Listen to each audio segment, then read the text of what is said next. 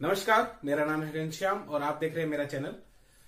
आज का टॉपिक जो है हमारा, वो है कैरिज वे रोड का वो इंपॉर्टेंट टॉपिक जो पूरा व्हीकल्स का लोड कैरी करता है, जिसको हम कैरिज वे कहते हैं।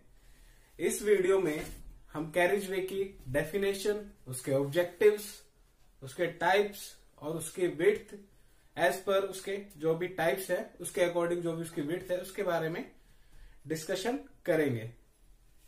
एक चीज़ दोस्तों मैं आपसे रिक्वेस्ट करना चाहता हूँ, आप कैरिज वे के बारे में पूरी जानकारी आपको चाहिए तो पूरा वीडियो लास्ट तक देखना। मैं नहीं चाहता आपका कोई भी डाउट आज क्लियर हुए बिना रह जाए। एक एक बात आपके माइंड में कैरिज वे के बारे में अच्छे से बैठा दी जाएगी। तो प्लीज़ वीडियो को पूरा देखें। चलिए स्टार्ट करते हैं।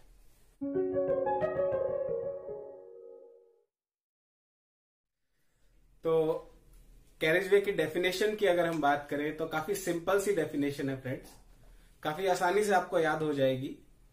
Portion of the road which is reserved for the vehicular traffic is called as carriage way और सिंपल सी भाषा में अगर बात करें तो रोड का वो पोर्शन जो व्हीकल्स का लोड कैरी करता है, उसको हम कैरेज वे कहते हैं. याद रखने के लिए आपको कुछ नहीं कैरेज वे का नाम नाम से ही आप अंदाज़ा लगा सकते हैं। कैरिज में से आप कैरी को पिक कीजिए। कैरी करने वाला वे क्या कहलाता है? कैरिज वे लेकिन किस चीज़ को कैरी करने वाला? व्हीकल्स को। तो जो रास्ता व्हीकल्स को कैरी करता है, उसे हम कैरिज वे कहते हैं। तो आई होप डेफिनेशन आप सबको याद होगी होगी। चलिए आगे बढ़ते हैं। ऑब्जेक्टिव्स के ऊपर। ऑब्जेक्टिव्स तो हम सब लोगों को पता है कितने आसान है। कैरिज वे अगर नहीं होगा तो एक व्हीकल एक स्थान से दूसरे स्थान तक नहीं जा पाएगा। दूसरा, एक स्मूथ सरफेस नहीं मिलेगी व्हीकल्स को मूव करने के लिए। तो व्हीकल्स को एक स्मूथ सरफेस मिलती है। दूसरा फैसिलिटेट करता है कैरिज वे एक व्हीकल को to move from one place to other place तो ये ऑब्जेक्टिव्स हैं कुछ एक। और अब सबसे मेन चीज़ जो हमें आज डिस्कस करनी है फ्रेंड्स वो है कैरिज वे के types single lane double lane single carriage way double carriage way एक चीज़ आप ध्यान रखिए लेन और कैरिज वे मैं आपको पहले थोड़ा सा ब्रीफ कर दू इसके बारे में.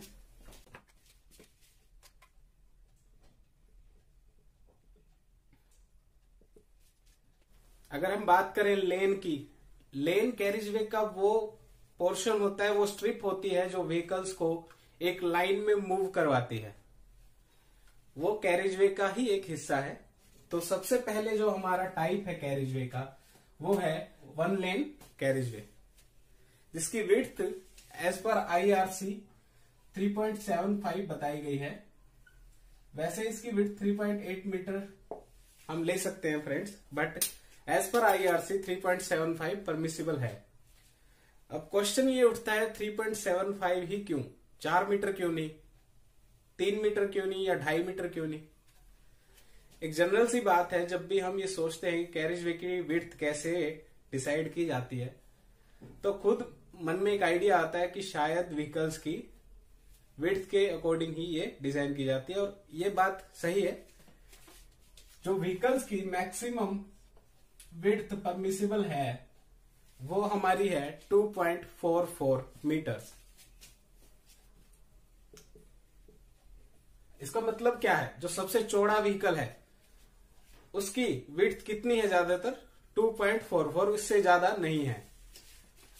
तो 2.44 हो गई व्हीकल की विड्थ और सिंगल लेन अगर सिंगल लेन कैरिज वे की अगर मैं बात करूँ तो दोनों तरफ़ हमें 0.68 मीटर्स क्लियरेंस चाहिए होता है। और आप इनको अगर प्लस करेंगे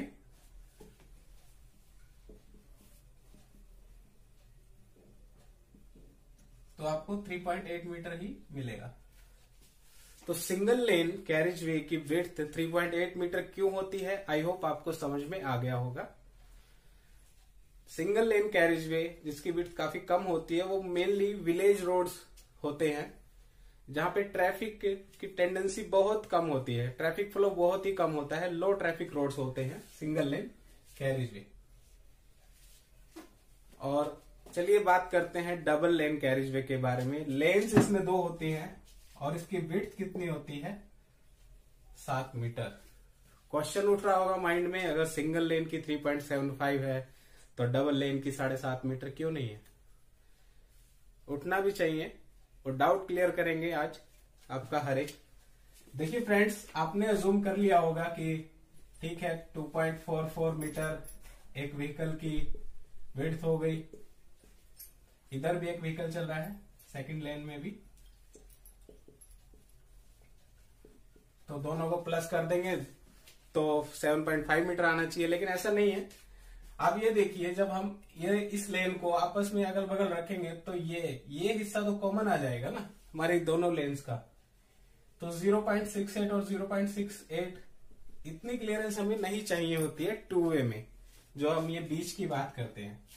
अगर हम बीच की बात करें, दो व्हीकल्स के बीच में क्लियरेंस हमें कितना चाहिए टू लेन कैरिज वे में तो वो होता है 1.06 मीटर मैं इधर लिख देता हूँ 1.06 मीटर दो व्हीकल्स के बीच में जो हमें क्लियरेंस चाहिए होता है सेफ़ क्लियरेंस और अगर बात करें साइड क्लियरेंस की तो इसमें 0.68 नहीं होता, इसमें कितना होता है?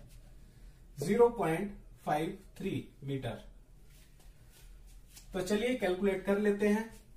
0.53 ये क्लियरेंस उसके बाद व्हीकल 2.44 उसके बाद व्हीकल्स के बीच की क्लियरेंस 1.06 उसके बाद दोबारा से व्हीकल की width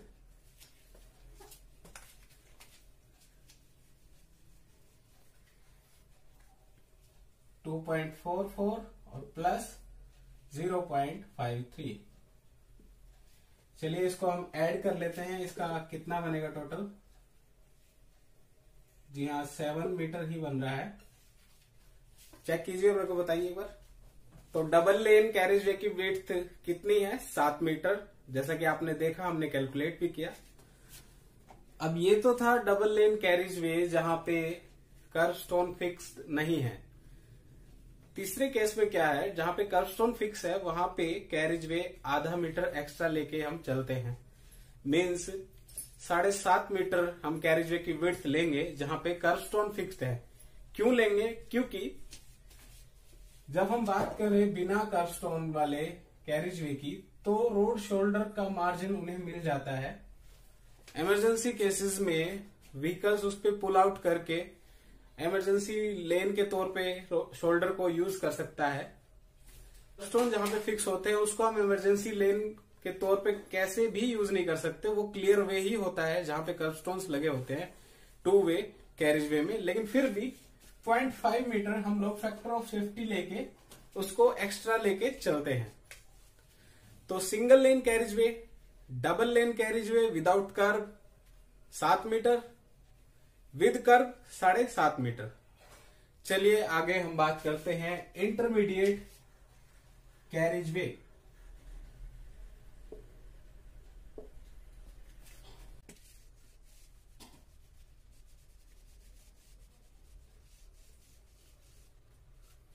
I hope आपको सब लोगों को ये डायग्राम दिख रहा होगा।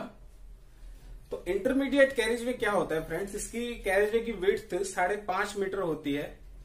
ये कहाँ पे यूज़ किया जाता है मेनली जहाँ पे ट्रैफ़िक लो होता है। मेनली अदर डिस्ट्रिक्ट रोड्स के तौर पे इंटरमीडिएट कैरिज वे को यूज़ किया जाता है। फ्रेंड्स साढ़े पाँच मीटर इसका कैरिज वे की विड्थ होती है।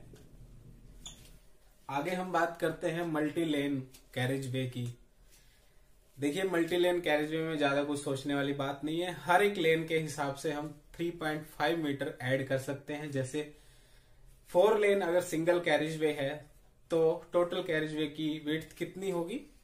3.5 point five into four fourteen metres तो ये थे फ्रेंड्स कुछ एक उदाहरण सिंगल कैरिज वे के। अब अगर बात करें डबल कैरिज वे की डबल कैरिज वे क्या होता है? एक कैरिज वे में काफ़ी सारी लेंस होती है, वो तो आपको पता चल गया। सिंगल भी हो सकती है डबल भी हो सकती है ट्रिपल भी हो सकती है, चार लेंस भी हो सकती हैं। एक चीज़ मैं आपको बताना भूल गया सिंगल कैरिज वे में अपोजिट डायरेक्शन में जो व्हीकल्स मूव करते हैं, ज़रूरी नहीं कि वो डिवाइड किए जाए या सेपरेट किए जाए हार्ड वेरिगेशन या एक मीडियन के द्वारा ही। कई बार क्या होता है सिर्फ़ एक रोड मार्किंग ही डिवाइडर का काम करती है और हम एक सिंगल कैरिज वे को फोर लेन कैरिज वे बना सकते हैं।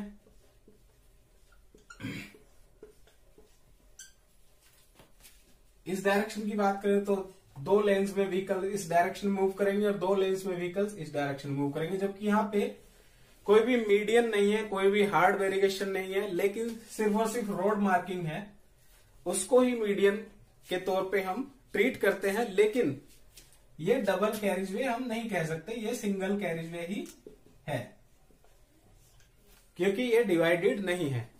अगर रोड मार्किंग की बजाय यहाँ पे मीडियन होता, या फिर हार्ड वेरिएशन होती, तब इसको हम ड्यूअल कैरिज वे कह सकते थे। तो सिंगल और ड्यूअल कैरिज वे में फ़र्क सिर्फ़ इतना सा ही है फ्रेंड्स सिंगल कैरिज वे सिर्फ़ एक कैरिज वे होता है जिसको डिवाइड किया जाता है लेंस के अंदर, और इवन उसको डिवाइड कर सकते हैं हम अपोजिट डायरेक्शन व्हीकल को मूव करवाने के लिए with the road markings only और ड्यूअल कैरिज वे की अगर बात करें तो वो दो कैरिज वे होते हैं। एक सीधी सी बात आपको माइंड में बैठा लेनी है, दो कैरिज वे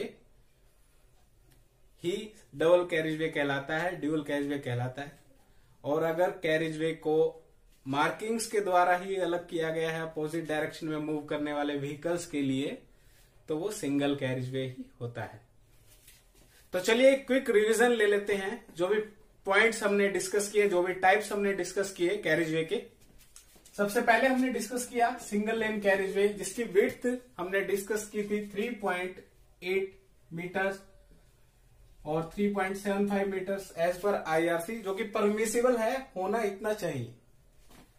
कैसे आई 3.8 मीटर 2.44 व्हीकल्स की चौड़ाई, और दोनों तरफ़ क्लियरेंस 0.68 ऐड करेंगे 3.8 मीटर हमारी कैरिज वे की विड्थ आ जाएगी।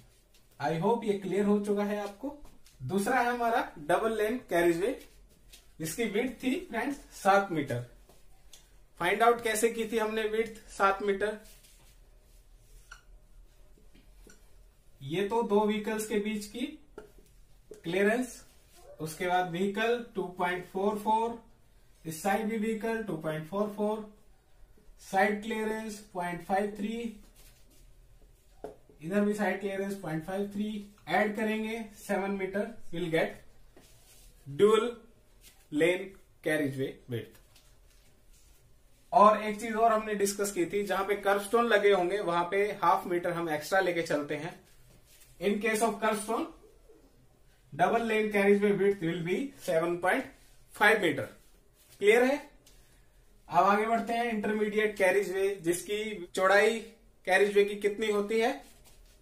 5.5 मीटर्स यूज़ कहाँ पे किया जाता है? अदर डिस्ट्रिक्ट रोड्स के तौर पे इसको यूज़ करते हैं, जहाँ पे ट्रैफ़िक का फ्लो मीडियम होता है या लो होता है।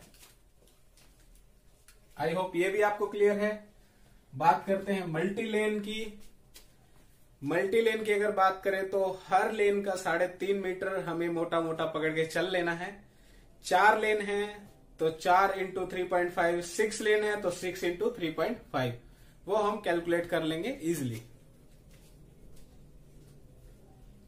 लास्ट है dual carriage way dual carriage way क्या होता है फ्रेंड्स जहाँ दो कैरिज वे हो। और जो किसी हार्ड बैरिगेशन के द्वारा सेपरेट किया गया हो कैरिज वे को, वो होता है ड्यूअल कैरिज वे एक केस में सिंपल मार्किंग के द्वारा भी हम रोड को डिवाइड कर देते हैं, लेकिन वो ड्यूअल कैरिज वे हम नहीं कह सकते उसको. वो सिंगल कैरिज वे होता है, जहाँ पे हार्ड वेरिएशन हो हार्ड मीडियन प्रोवाइड किया गया हो, उस केस को हम डुअल कैरिज वे कह सकते हैं. तो फिफ्थ पॉइंट भी क्लियर है? कोई भी डाउट आपको कैरिज वे को लेके है तो आप कमेंट्स में प्लीज़ मुझसे पूछिए फ्रेंड्स और अगर आप चैनल पे नए हैं तो प्लीज़ सब्सक्राइब करें और लाइक बटन दबाएँ। आपके लाइक से ही हमें मोटिवेशनल मिलती है और अच्छी अच्छी वीडियोस बनाने की। तो फ्रेंड्स थैंक यू ये वीडियो देखने के लिए। आगे आने वाली वीडियो में हम डिस्कस करेंगे रोड शोल्डर के बारे में, उसका डिज़ाइन उसकी विड्थ डिफरेंट डिफरेंट टेरेंस के लिए डिफरेंट डिफरेंट प्लेसेस के लिए। हिली एरियाज़ में प्लेन एरियाज़ में सब कुछ हम डिस्कस करेंगे। एक एक चीज़ आपके माइंड में बैठाई जाएगी।